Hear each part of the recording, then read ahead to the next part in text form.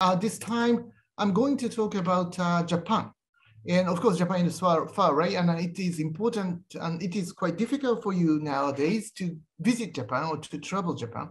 So uh, even though now I'm not in Japan, but uh, I would like to really uh, uh introduce uh, the current Japan as it is, because uh, sometimes Japan is misunderstood and sometimes the, the rapid transformation of Japanese society, Japanese culture uh, cannot be easily noticed in news media, which you are usually watching in the United States. So uh, as a Japanese scholar, and uh, as a scholar of uh, international relations, I'm usually uh, teaching international politics and international history to students. And also I often join in uh, well, international conferences on various issues such as uh, international security and uh, politics in the, in the Pacific. Of course, US-China confrontation nowadays. I uh, join many kind of webinars and international conferences. So um, my, my talk is basic, based upon my expertise on international politics and international history. But uh, I today, I'm not going to uh, go into details about those kind of international politics. But on the other hand, uh, rather than that, I would really like to uh, talk about what Japan is like today. And I'm using a PowerPoint slide to uh, uh, clarify my talk. Uh, and first of all, I um, like to move the next slide, introduction. Japan has become today culturally and racially diverse society in the last decade so this is a great transformation in the last 10 years. Well, if you visited Japan maybe one or two decades before, you could perhaps feel that, well, basically Japan is uh, full of Japanese people and uh, not so many foreign people were there. But nowadays, on the other hand, if you go to a convenience store in Tokyo, and if you go to a, a restaurants or uh, if you go to uh, bars or those kind of uh, uh, uh, shops and so on in Tokyo and elsewhere, you can find so many foreigners. Rather than that, if you go to convenience store like 7-Elevens and so, it's sometimes difficult to find Japanese shopkeepers. Basically, those shops are run by, uh, or if you uh, go to these stores, you usually uh, talk with non-Japanese people uh, because uh, and uh, like, like New York cab taxi or London taxi, uh, well, in these areas in Tokyo nowadays, uh, uh, uh Tokyo is full of those foreign people. But uh, not just that, because they live longer in Tokyo or Japan, and they sometimes, of course, have children, and they grow up, grown, grown up in Japan or in Tokyo. So that's why in schools, uh, like my university, Keio University, there are so many, uh, well, who are not actually ra uh, uh racially or ethnically Japanese. So uh, if I talk about something to my students in Japanese university, I have to be careful about those kind of uh, ethnical racial diversity because there are many Chinese and a third of my graduate students, department politics, uh, actually Chinese. Of course, there are so many Koreans. So uh, I am always aware of these kind of diverse nature of my students, not just in Japanese university, but elsewhere as well, basically. And then I would also like to point out in the beginning that Japan has a long tradition of merging foreign culture with Japanese tradition, more than a thousand years. In the beginning, uh, like uh, uh, uh well, 12 centuries before, around uh, the year to the year 800 or something, uh, we began to introduce Chinese culture or religion, like Buddhist religions or Confucianist religion or, or culture. So since then, we have had a very difficult question to try to combine the two things, our own tradition and foreign culture, largely Chinese culture. We have to, and we want to maintain our own traditional culture. But at the same time, be, because for many centuries, Chinese civilization were much more superior to Japanese civilization. That's why we needed to learn so many things from China. So we introduced Chinese characters, but uh, Japanese language is not as same as Chinese language. We have some Chinese characters, but that not, that not all. We have all our own Japanese characters. So Japanese character is basically the combination of Chinese character and the Japanese character, that hiragana, which uh, maybe uh, some of you might be familiar with. So uh, we have here in Japan a very long tradition, more than 1,000 years, traditional combining or merging our own tradition with foreign culture. And then we create our own identity. So uh, that's why I, in the beginning, I said that Japan is sometimes misunderstood. That we usually are seeing that Japan has too, too strong nationalism or too strong our own cultural tradition. Maybe that might be true, but uh, we are proud of a long historical tradition of merging different kind of culture. So in that sense, Japan was in the middle of the 19th century. Japan was the best country, I would say, uh, which could combine with Western civilization with our own culture tradition, because we had done it for many centuries by combining Chinese civilization with our own Japanese civilization. So it's not really difficult for us in the middle of 19th century to switch from Chinese civilization to Western civilization. But uh, Western civilization could not dominate Japan, Japanese culture or Japanese cultural tradition or Japanese mindset because always uh, we have been introducing some of the spiritual, spiritual civilization but uh, of course, space civilization could do not easily dominate Japanese people because Japanese people are good at combining the two things. So let me move on to the second, the next slide. So uh, you can see some of the pictures of Japanese, or all of them are Japanese in a sense, but uh, maybe they are not the typical images of Japanese people, perhaps, to you they are not quite seen as typical Asian people. I, I think that most of you know the name Osaka Naomi, uh, quite famous tennis player, professional tennis player, who, who, who sometimes won a, a, a, a big tournament, even in the United States, I suppose. And also, you some of you who are familiar with uh, uh, basketball, uh, perhaps know the name Rui Hachimura, uh, Rui Hachimura is in Washington, D.C., playing in uh, uh, Washington Wizards. So many my friends in Washington, D.C., who are researching on international affairs, international politics in think tanks or universities, uh, fun, big fan of uh, Rui Hachimura because, because of his joining uh, Wizards, is becoming stronger, of course, with some difficulties, but still uh, he, he is a hero in uh, uh, Washington Wizards. So it's quite new that uh, Japanese basketball player actually uh, uh, is so famous among American people. We are very glad to see it. And there are some other names like baseball player, like maybe some of you might know the name of Darvish. And Yu Darvish, and she's not playing in Padres in uh, American uh, Major League Baseball. He actually, uh, his father was Iranian.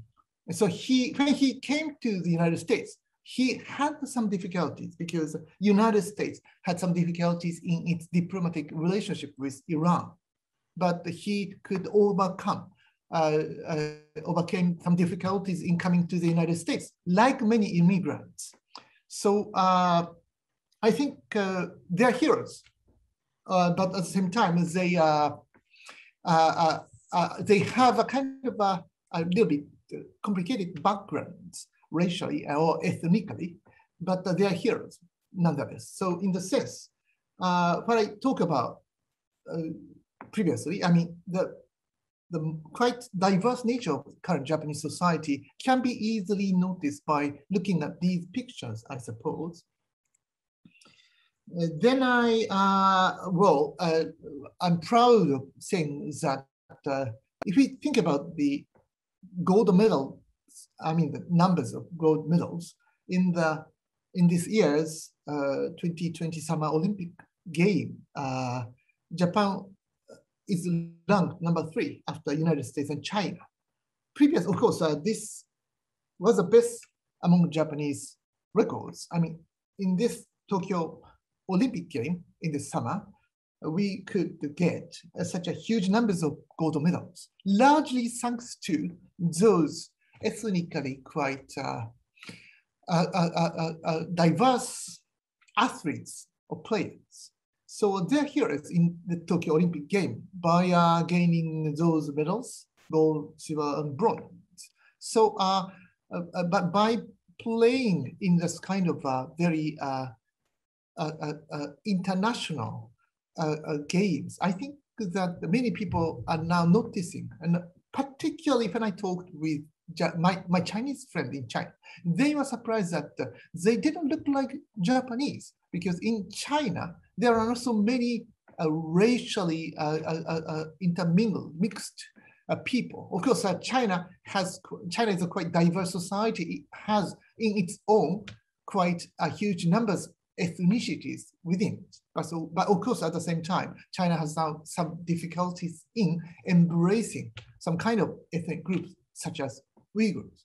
So in the sense, I think that seeing this kind of ethnic diversity might be a little bit surprising to some Chinese people when they watched uh, Tokyo Olympic game. So uh, then I uh, move on to the next slide. So uh, uh, this is not just my impression. Some scholars or news uh, journalists uh, reported in this way. Uh, in a recent uh, news article last year, uh, it is written that, I quote, this growth in immigration in town is changing the image of Japan from ethnically homogeneous to moderately diverse. Among Tokyo residents in their 20s, one in 10 is now foreign born and Tokyo is no longer an outlier. Much of the migration is happening in small industrial towns around the country, such as Shimukappu in central Hokkaido and Oizumi in Gunma Prefecture, where migrant populations make up more than 15% of local population. In the mostly rural Mie Prefecture, east of Osaka and Kyoto, foreign migration has reversed years of population loss so if you like go to uh, Oizumi in Gunma, it's quite interesting to see that it's like Mexico or uh, Latin American cities. There are full of uh, Latino people there, and they usually speak in Spanish. So they usually go to Japanese school to learn Japanese, but in their families, they usually speak in Spanish or Portuguese. So uh, the, you can easily see those kind of, and sometimes they have Japanese citizenship, and they speak Japanese and they will work in Japanese companies. But nevertheless, uh, it's interesting to see that, uh, uh, well, they're becoming Japanese by learning Japanese. And it's similar to many Americans, I would say. Uh, many people come to the United States by uh, uh, for, for, for, for some reason like economic interest and their great aspiration to be an American and they first need to speak English and they need to then uh, really learn about American identity or American nationality or American culture or tradition and so on. So same or similar things are happening in Japan as well. So uh, it's interesting to see this kind of transformation. And then, uh, well, uh, uh, likewise, uh, in the other uh, article, which appear in the Atlantic magazine in the United States, it is written, I quote again, but the approximately 2.3 million migrants living in Japan, a 37% increase from 2000 to 2017, are now testing further Japan can continue to be Japan if everyone doesn't necessarily look Japanese. Johnny, for example, sees himself and his family as Japanese, even he doesn't have the paperwork to prove it. We no longer yell and talk loudly inside shops and restaurants, things like that, he told me. We learn to adapt the general code of conduct in Japan. So becoming, they're becoming more and more like Japanese. Uh, not just uh, learning Japanese language, but also by learning these kind of Japanese conduct. And uh, there are more uh, Japanese people elsewhere. Like if you go to Tohoku area, my mother actually came from Tohoku area, a rural area in the northern to Tokyo. And if you go to these kind of rural areas, and if you go to many farms and those kind of places, you can see many Asian uh, people there. Uh, and uh, they're working because uh, youngsters, I mean, young Japanese people really don't like to work in a very hard agricultural sector. So they need youngsters. That's why they invite many Filipinos and uh, Indonesians or Vietnamese, and they are happy to come to Japan to work. And they work in a very difficult situation. I mean, the agricultural sector, they have to work hard. But nevertheless, uh, they work hard in these kind of agriculture sector, like farm and so on. And uh, well, then they actually often marry with, not often, but uh, usually marries with Japanese people there. And uh, so uh, their children are half Filipinos or half Vietnamese. So if you go to uh, elementary school or high school in those areas, in northern part of Japan, you can see so many colorful Japanese people, different kind of ethnic identities, but they usually speak in Japanese. So this is quite new trends in the last one or two decades. And then uh, this is a typical, well, like uh, you can see some of the pictures in Japan, typical Japanese image, but uh, some of you might be uh, thinking that this is not the typical Japanese image. So uh, in the airport, you can see many foreigners, of course, coming from Asian country particularly. And also uh, you can see some of the his Hispanic people there in the northern part of Japan. And also uh, in the factories, uh, there are full of those uh, immigrants, workers, like in the United States. So if United States has some difficulties in having Chinese people, it's natural that those Chinese people are now uh, uh, uh, coming to Japan to work. So it's not just that. It's interesting that I'm teaching some of the Chinese students whose parents, whose father is actually a quite senior position in Chinese Communist Party. And uh, actually they uh, uh, changed their names because, uh, well, uh, it's not quite convenient for them to use their original name in Japan because their parents and father had the senior position in the Chinese Communist Party. So there are many young Chinese people coming to Japan because they are familiar with Japanese culture. And uh, also uh, it's easier to come to China, Japan from China because it's nearer, language is similar, culture is similar, and uh, it, well, ethnically similar. In the sense that it's natural that more and more Chinese are coming to Japan. So in that sense, we have population problem, but uh, in some way, it's not perhaps difficult for us, I mean, for Japan to overcome some of these population problems because we're having more foreigners. So uh, the reason why we have so many foreigners nowadays, in some statistics, we have the fourth largest immigrants in the world, uh, of course, after United States and I forget the second and the third, but uh, it depends on the, how we scale those statistics. But uh, well, well, based upon these pictures, you can also easily find out the, the, the diversity of Japanese culture. So uh, this said that well, Japan has its own national identity. Japan has had for a long time a, a, a, distinctive national identity which uh, uh combines Japanese own tradition with something new from outside, as I said. So we, because we have had that kind of tradition in more than 1,000 years. So merging modernity with tradition is a kind of a important character, I would say, of Japanese national identity. One of the largest enigmas of Japan is that Japan is seen as a country full of many traditional things, while traditional Japanese things, while Japan presents its image as a modern society. So uh, we have many modern buildings, but we also have many, many traditional uh, uh, uh shrines of those kind of old buildings in Tokyo. So you can see the both, uh, both old temples and uh, new, quite uh, modern architectures. Since the time of the ancient era, when Japan had, had the close economic and cultural exchanges with the Chinese empire, the Japanese made efforts to mix the two, namely things Chinese and things Japanese. Since the middle of the 19th century, Japan had the turn to Western civilization and began to mix it with Japanese tradition. And so this is a typical two things. I mean, quite old Sensoji temple at the central Tokyo. So many, many visitors, tourists uh, actually come to this Sensoji because it's beautiful, it's huge. Of course, it's a quite old temple. This is a gate with a five stories temple besides. You can see the both.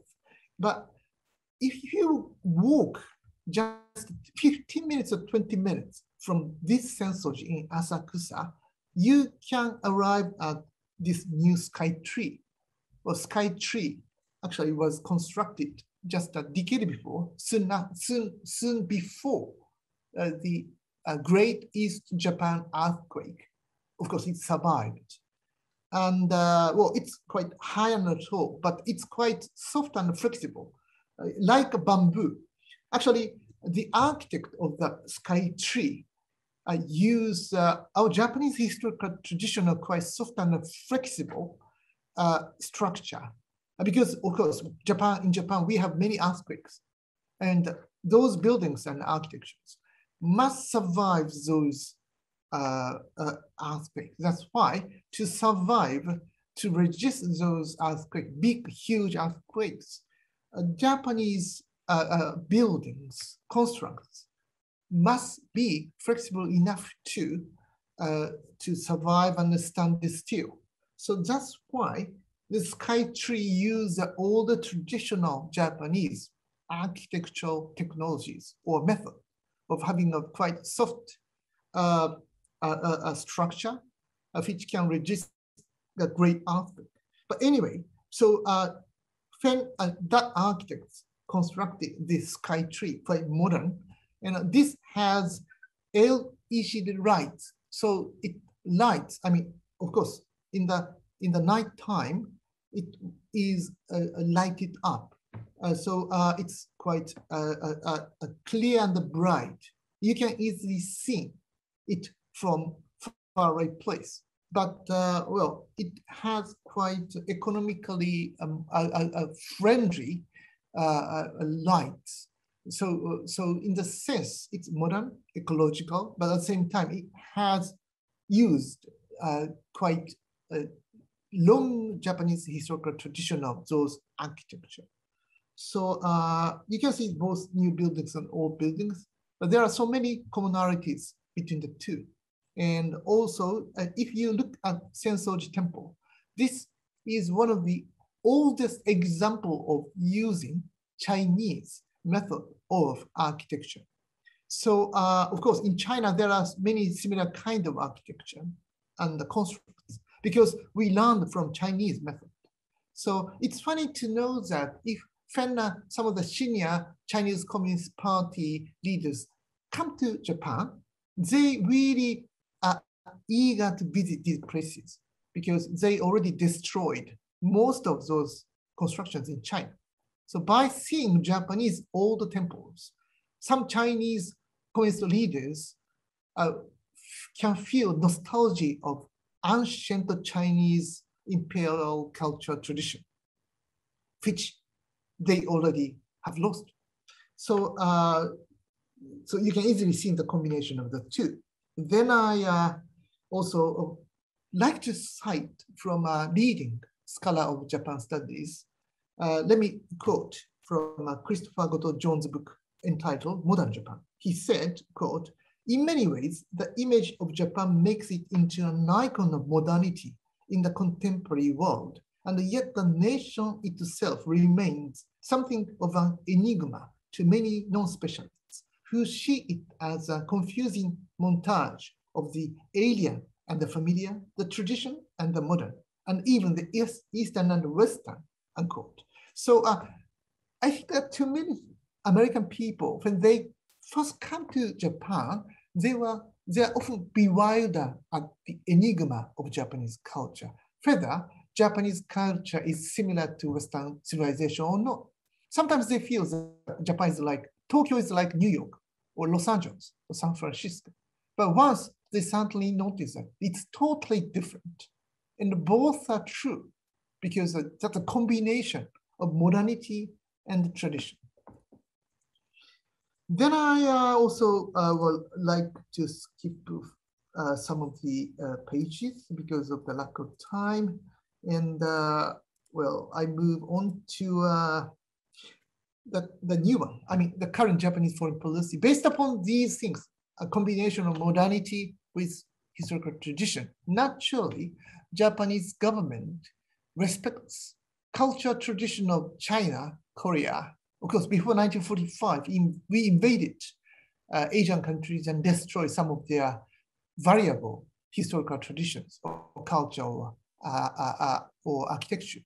Of course, uh, we have to be, uh, we have to apologize for that. But after 1945, we changed the direction of our foreign policy, and particularly Japan has been respecting variable culture tradition in each country like India, uh, China, Malaysia, Indonesia, Korea, and so on. They have their own distinctive and respectful historical tradition.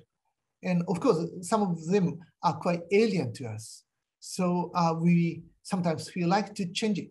Before 1945, Japanese soldiers forced them to change that, like Japanese soldier uh, forced Korean people to change their names in Japanese character uh, because these are seen as quite alien. We, I mean, the, some of the Japanese people before 1945 wanted to change it in a Japanese way, but I was wrong. Uh, we are wrong in doing that. So after 1945, we began to respect those culture, but at the same time, we need modernization. We need some degree of westernization. That's why, but combining two, we can provide some variable meaningful ODA to economic assistance to some Asian countries because our method is slightly different from a Western way by respecting their own culture tradition, but at the same time, they shouldn't remain the same. They need some degree of modernization to be richer, to be stronger. That's why I think that Japan can pre- present a kind of a model of the combination between modernity and cultural tradition. And based upon this kind of uh, Japanese foreign policy tradition, uh, Prime Minister Abe in 19, uh, Prime Minister Abe in 2016 launched a new uh, diplomatic strategy, and that is called a free and open Indo-Pacific strategy. Uh, we need liberal internationalist tradition. We need international cooperation. Sometimes nationalism destroys peace. That's why we encourage Asian countries to, to abide by international law, international rules. But at the same time, we don't really have to radically change their historical tradition. So uh, by explaining uh, on that, importance of international law and international rules, international order, uh, they need to uh, respect them. But at the same time, they don't have to be totally westernized. They can maintain their own culture. So uh, China sometimes criticizes international law because they argue, criticize that international law was created by Western people. That's why Asia uh, should not have to respect those international laws. Or we should, Asian people should radically modify international law. We don't think in Japan, think in that way. We should respect those international law. But at the same time, international law should not and cannot radically uh, destroy our own cultural traditions. So international law, international rules must be plural or diverse to embrace, to be able to embrace those his, uh, cultural diversity. So that's why I think the Japanese this Japanese uh, diplomatic strategy is widely accepted and widely welcomed by many Asian people, of course, including India, Southeast Asian countries, Australia, New Zealand, and many European countries as well, and African countries as well. So this diplomatic, Japan's diplomatic strategy perhaps is the diplomatic strategy of free and open Indo-Pacific is perhaps the most important Japanese diplomatic initiative in the last 150 years. Uh, before 1945, we wanted to and we tried to create exclusive Asian order by uh, rejecting uh, Europeans and Americans, and we failed. And after 1945, we basically was following American leadership in creating international order, but particularly at the time of the Trump years, because Donald President Donald Trump was not very much interested in international order. He was promoting American first strategy by rejecting or damaging some parts of international order. So instead of American leadership, I think that the Japanese government under Prime Minister Abe was trying to lead uh, uh, in this field in creating uh, international order, which could be acceptable to many countries in the region. Then, uh, well, uh, Japan was connecting economic prosperity in the, in the Pacific region. Of course, uh, one of the biggest problems in East Asia is that we are Asian. And not just Japan, in Japan, but in China and in Korea, they will soon, uh, they are already experiencing uh, the fastest uh, aging uh, society, much faster than Japan was experiencing. And China was really fearful of that turn, change, transformation. So if you look at the current China's assertive foreign policy, this is uh, partly, uh, this can be partly explained by Chinese frustration. Within a decade or two, China uh, will face the, will soon face a severe difficulty. The United States is still uh, expanding its population, but uh, China is not like that.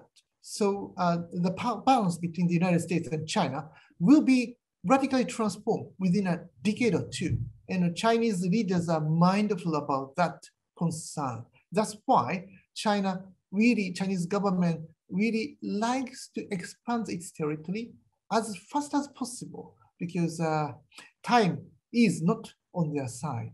So in the sense, uh, we are aging society in Northeast Asia, Japan, Korea, and South Japan, Korea, and the China well.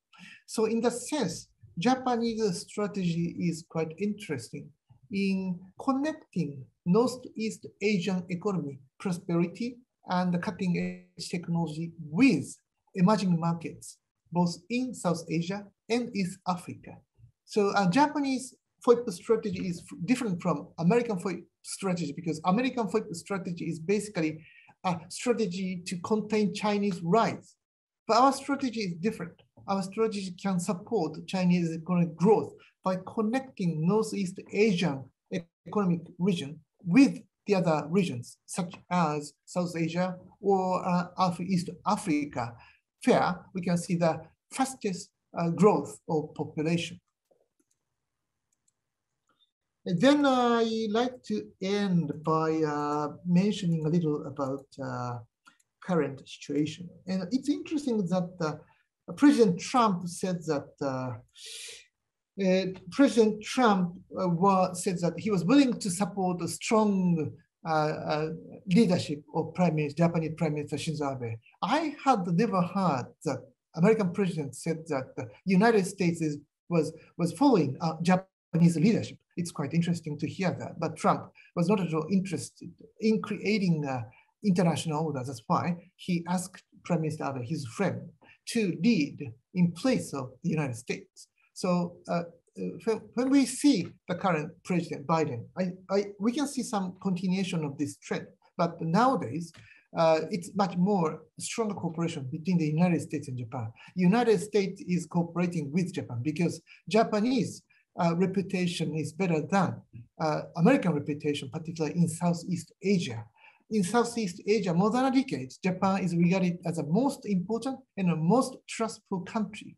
It's interesting to see that not just Japan is regarded as the most uh, trustful country, but they responded that Japan is most important country for them.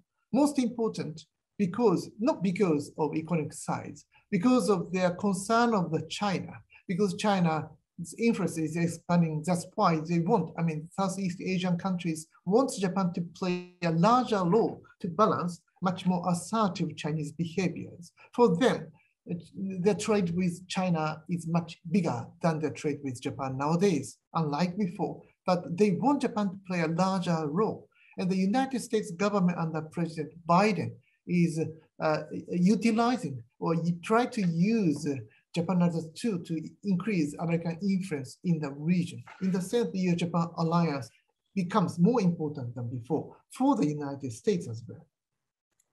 So then I like to conclude in the end that, uh, well, under the, uh, the, the strong uh, uh cooperation and friendship between President Biden, Joe Biden, and Prime Minister uh, Suga, uh, and also this is continuing under Prime Minister Kishida as well.